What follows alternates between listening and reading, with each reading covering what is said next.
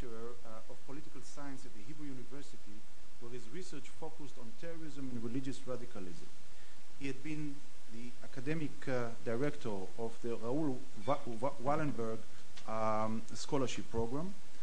After his uh, fellowship at the Institute of Peace, Sprinzak uh, founded and was the dean of the Lauder School of Government, um, Diplomacy and Strategy here at the Interdisciplinary Center. This uh, conference is being run by uh, the School of Government. I'm, I have the honor to be the deputy dean and um, the one who was founding this, uh, this um, school is Professor Ehud Sprinzak, and we try as much as we can to follow his uh, lead, his vision, and his concepts. Uh, professor Ehud Sprinzak uh, had been a visiting professor in the Department of Government in Georgetown University and at the School of International Service at the American University.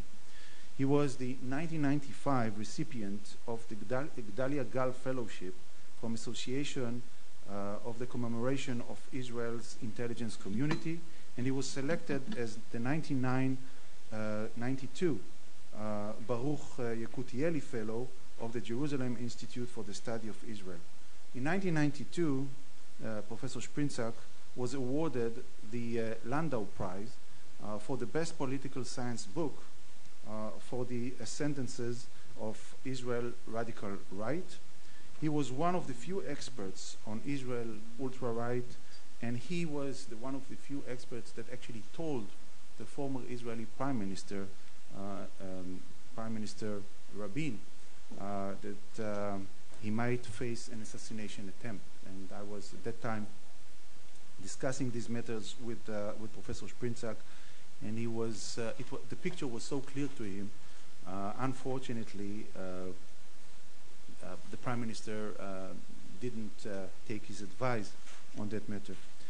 He also wrote "Brothers Against Brothers: Violence, Extremism in Israeli Politics," from Altalena to the Rabin assassination, and he was the co-editor of the Israeli Democracy Under Stress. Ehud Sprinzak received his uh, doctorate in political science from Yale University. He died in November 2002 at the age of 62, and he, he survived by his wife Ricky, who's sitting uh, with us here today, four children, and uh, it's written to me two grandchildren. It's, it's three now. So we, we wish that there will be many more. Um, on a personal note, uh, Professor Sprinzak was my teacher. Uh, he was my tutor in my PhD, and he was uh, he was a real friend of mine. And um, he actually uh, educated, I would say, a generation of scholars in Israel, which I'm proud to be uh, one of them. And uh, if I can speak for all of them, I definitely can speak for myself. We are missing him on a daily basis. So we decided to uh, commemorate him in this uh, memorial uh, workshop. Thank you, Amichai. Yeh Zichro Baruch. Thank you, uh, Boaz. Turning sharply to the issues before us, what I'd like to, to do, um, as much for our collective discussion as for the, uh, for the panelists, um, is um, uh, to lay out uh, four, four questions, just as a, as a context and a background for our, for our conversation this morning.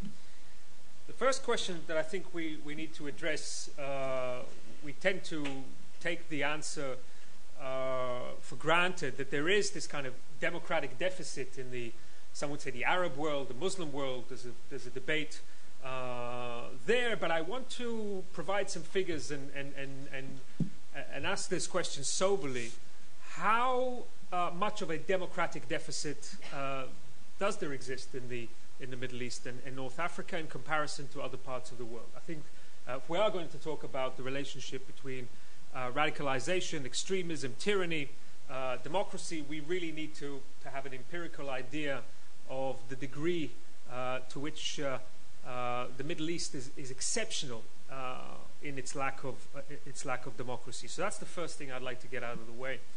The second uh, question that I think all of us need to address is well, is there a tyranny terror link, right? What is the relationship between lack of democracy, lack of political uh, freedom, some would say economic freedom, um, and, um, and terrorism? Um, the truth is that the literature on this is surprisingly um, scant. Uh, to my mind, it's, it's fairly unsatisfactory. As I was preparing for this workshop, I sort of reviewed um, to the best of my knowledge, the available literature on this. And the fact is that the answers are fairly ambiguous. And I, would like to put the literature before you uh, so that we can have an informed conversation about, about this. Um, the third issue I think that we need to address uh, is well, where does democracy promotion stand in, in American foreign policy? Uh, is it a recent phenomenon? Is it an old phenomenon? Uh, do Americans take democracy promotion seriously? Uh, do they only take it seriously on, at the rhetorical level? I was just uh, speaking to Boaz before we got started. I received uh, figures uh, from the Democracy Digest. This is a, a weekly publication by the National Endowment for Democracy in the United States, which show that today Americans are more skeptical about international intervention and certainly about democracy promotion than they were probably at any time since 1947, since the end of the, of the Second World War, which, which is revealing in itself. So where does democracy promotion fit in, in American foreign uh, interests uh, on the whole? I'd like to uh, make some suggestions about that. Uh, maybe some controversial, controversial suggestions about. Um, and then finally, just to uh, be really provocative, I'd like to lay out seven possible hypotheses, seven possible relationships about the relationship between democracy promotion and the curbing of, of, of terrorism, which is really at the heart of, of our discussion uh, today. So, if you'll permit me, I'll just go through these four questions relatively quickly. Hopefully, that would provide us with the um, empirical, sort of uh, theoretical background um, to, to, today's, uh, to today's workshop. Okay, so let's begin with the first question Is there a democratic deficit in, in, the, in the Middle East? Let's take a step back and see what has happened to democracy globally over the past uh, 30, 35, 35 years. For those people who are interested in this, Samuel Huntington famously wrote a book called The Third Wave, right? The Third Wave of Global Democratization. And what you have here before you, since this is a counterterrorism uh, conference, I can use uh, little laser, little laser dots. If you don't behave, I'm going to put them on your, on your, on your forehead as well, as I do with my students. But if you can, if you, if you see, uh, if we look at 1989, right, the, the, um, uh, the fall of the, uh, of the Berlin Wall, I mean, Samuel Huntington goes back all the way to 1974. It makes the case that in 1974 there were only 39 democracies on the, on the face of the planet. Today, as you can see, we have about 120, 123 uh, uh, democracies. 1974, only 27% of the countries around the world were democracies. Today, this is slightly out of date. The figures for 2011 2012 will show you a slight up here, uh, a slight increase in the number of electoral democracies around the world. Somewhere between 62 and 64 percent of the countries in the world today are electoral democracies. Not all of them are consolidated liberal democracies, but they're all electoral electoral democracies.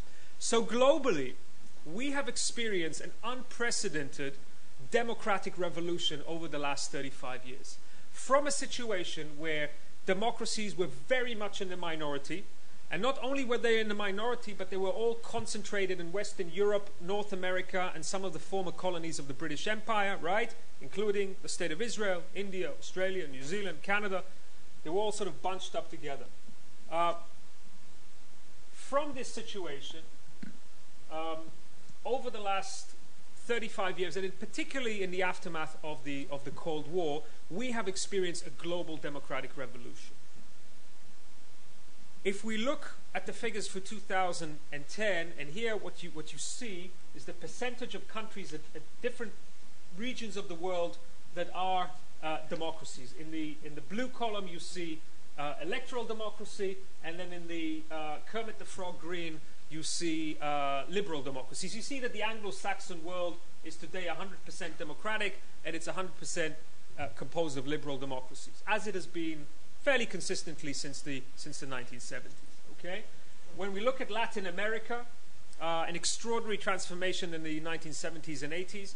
Today, only Venezuela and Cuba do not count as, uh, as, as, democracies, but you see that there's a, a, larger gap between the consolidated liberal democracies and the, and, and the number of electoral democracies, right?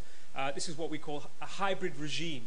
Uh, countries that have free and fair elections, but at the same time suffer from serious problems of corruption, uh, presidentialism, and so on and so forth. So not all, all countries that we count as democracies are consolidated liberal democracies.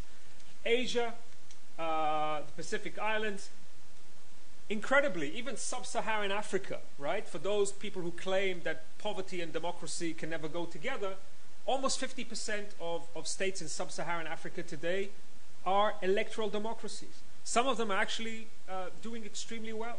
Uh, Namibia, uh, uh, Botswana, South Africa has had its problems over certainly over the last year or two, but relatively doing extremely well. And, he, and then we come to the Middle East. Two electoral democracies, you can guess which ones they are. It's Turkey and Israel, and a single liberal democracy out of a group of maybe 30 states. That is the state of Israel.